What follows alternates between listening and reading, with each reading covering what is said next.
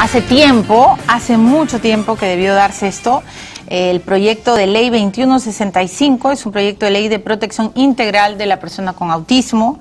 Por supuesto, el objetivo principal es establecer un régimen legal que garantice, entre otras cosas, el diagnóstico precoz. Eso es algo que falta en el Perú. Hay muchos niños que tienen autismo, sobre todo en provincias, y que cuyos padres no saben detectarlo a tiempo, no hay programas, ¿no es cierto?, de salud que ayude y eh, felizmente hay congresistas como la señora Leila Chihuán que están preocupados por los niños con esta condición, eh, los niños llamados con habilidades especiales y lo único que tenemos que hacer es felicitar y ojalá de una vez ingrese al Pleno eh, se, se acepte por unanimidad y sea finalmente promulgada. ¿Cómo está, congresista Chihuán? Bienvenida al programa. Gracias, gracias Mila por, por invitarme no, no puedo ser indiferente a la realidad del país, ¿no? Eh, un poco fastidiada, sí, molesta, consternada por los datos, por las noticias que aparecen a diario, porque siento que estamos metidos en una nube en la cual no avanzamos. Definitivamente hay temas muy importantes eh, en nuestro día a día, pero hay temas que estamos dejando de lado. Y si a alguien no le gusta ver noticias desagradables en la televisión, pues ese alguien tiene que hacer algo fuerte quizás, algo drástico, para que cambie la noticia y podamos dar buenas noticias. ¿Usted cree entonces, eh, para luego entrar de lleno al proyecto de ley que ha presentado, que el, el presidente Ollantumala se equivoca al atacar a los medios y al decir que prácticamente somos los culpables, nos ha dicho, ¿no? De tanto morbo, de tanta... Es que los medios... Eh, son dirigidos por personas y en los medios trabajan personas que han escogido la profesión de informar. Y como buena periodista no vas a informar lo que a ti te conviene o lo que a ti te parece bien o lo que a él o a otras personas o a mí no me haga daño. Tienes que informar lo que realmente pasa, lo que realmente sucede. Entonces, para mí, mi trabajo va, a ser eh, esforzarme al máximo para que tú des noticias buenas. Pero además usted sabe que somos fiscalizadores, pues, ¿no? Los periodistas estamos Pero por supuesto, para eso. Y gran parte y gran parte de lo que se descubre, gran parte de lo que pasa, gran gran parte del quehacer es descubierto por los periodistas, que parece que el servicio de inteligencia en la prensa es más efectivo a veces que el servicio de inteligencia Eso sin lugar a dudas, aunque a la Dini le moleste. Bueno, eh, con tremendo presupuesto no le debe molestar muchas cosas. Bueno, pero hoy día el, el, presidente Ollantumal ha dicho que no hay plata para los niños, eh, son niños para mí, ¿no? Para los jóvenes que quieran... Eh, acudir al servicio militar. Nosotros tenemos que incentivar, o sea, el amor a la patria no se va a incentivar ni se va a ganar con unas monedas más o con unas monedas menos. Eso también nace desde la casa. Pero si no hay para ofrecerles las mínimas condiciones, como una buena cama donde dormir, uniformes nuevos y no usados, alimentación adecuada, porque si alimentamos a niños con el programa Caliwarma y la comida no llega en buen estado, imagínate lo que le va a pasar a los jóvenes. Eh, carreras técnicas, ¿qué carreras técnicas? ¿Cuáles son? Enumérelas.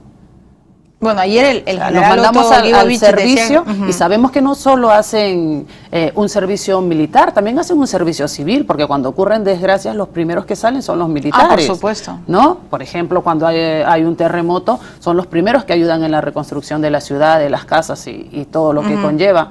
Pero no los mandemos a la guerra cuando no es tiempo de guerra. Y además ayer, como, como usted lo está expresando, el propio general eh, Otto dijo eso, ¿no? Que se necesita tropa profesional, no se necesita Hay que incentivarlos, hay que incentivarlos. Para muchos chicos eh, es, es más beneficioso, digámoslo así, trabajar, trabajar y poder estudiar, porque con ese trabajo ayudan en su casa. Muchos, muchos chicos metidos en un cuartel, sí, ok, están haciendo un trabajo por, por los peruanos, por muchos de nosotros que no estamos ahí pero no les compensa 250 soles, 310 pues. soles.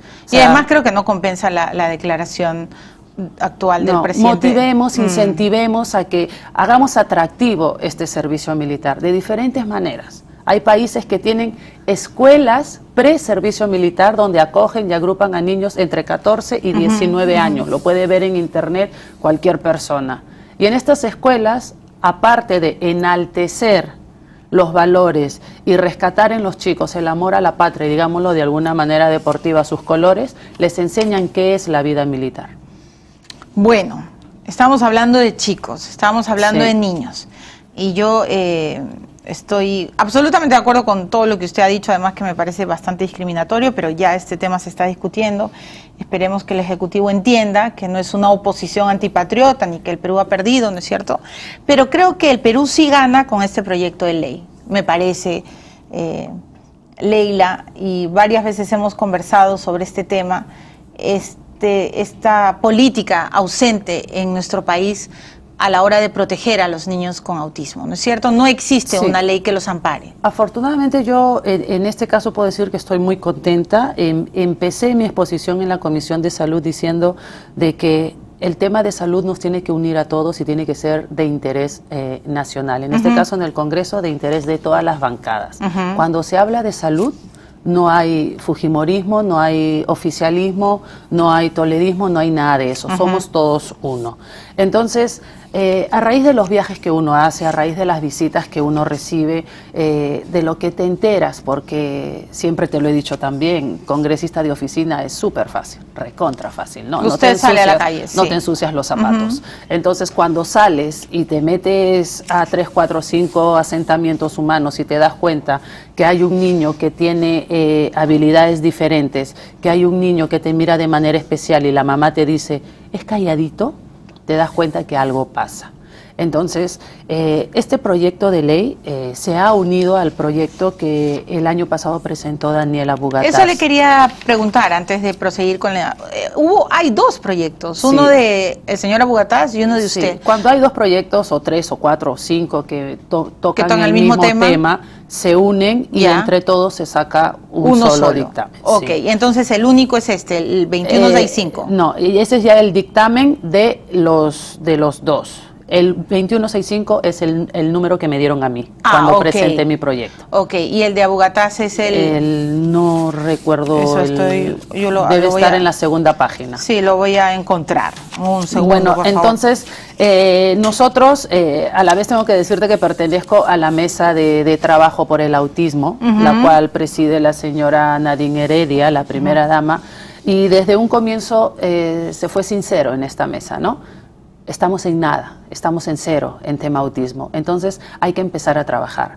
Hemos hecho una ley, digamos, marco, con la cual se va a seguir trabajando. el Ministerio de la Mujer y Poblaciones Vulnerables, eh, también en colaboración con la Municipalidad de Lima, que también pertenece a esta mesa, está elaborando un proyecto, un plan piloto para hacer un centro un centro de acogida para los, para los niños y personas con autismo, pero en base, mi proyecto lo que busca eh, es una detección precoz, porque cuanto antes lo detectas es mucho mejor que el niño tiene que, que se, le tiene que detectar si tiene o no autismo entre 0 y 18 meses.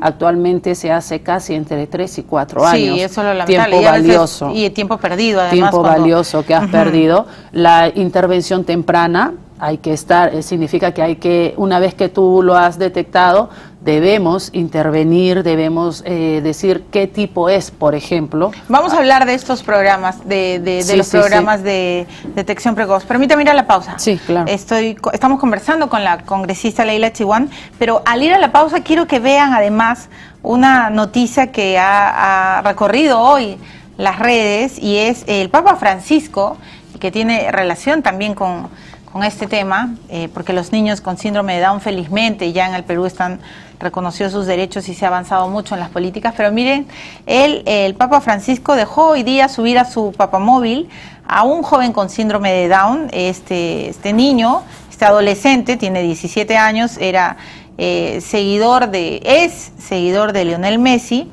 y bueno, cuando lo vio al Papa, pues estaba más que emocionado y el Papa Francisco, como ya nos tiene acostumbrados, además tiene un especial interés con las personas con habilidades especiales, lo que hizo fue eh, subirlo y, subirlo, ¿no es cierto? Abrazarlo, bendecirlo. Y el papá del muchacho Celestino Di Tulio ha dicho que en cuanto el Papa lo vio, lo abrazó. Y que eh, Alberto, su hijo Alberto, señalando el automóvil, eh, no llamó la atención, ¿no? Ahí lo ven al Papa abrazando mucho a los niños. Este Papa Francisco me cae muy bien, tengo que decirlo, me van a perdonar, pero me parece un hombre muy carismático y muy preocupado, sobre todo por los niños con habilidades especiales. Vamos a ver cómo finalmente termina su, su pontificado. Me voy a la pausa y regreso con la congresista Leila Chihuán para conversar sobre el diagnóstico precoz, que es lo que más nos interesa en este terreno.